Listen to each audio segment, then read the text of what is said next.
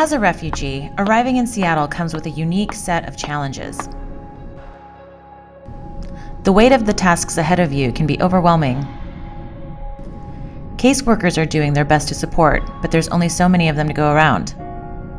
What if there was a way to get the help you need, wherever you are, when you need it the most? Presenting Handbook in partnership with World Relief.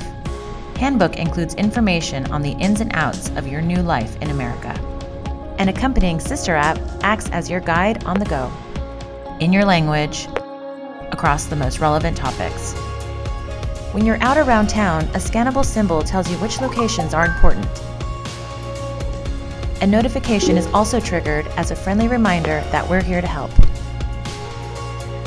The Handbook app delivers contextual information from partner organizations and the community when you need it the most.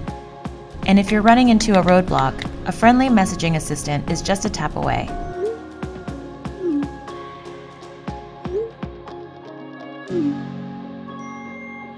Bringing you one step closer to feeling part of American life.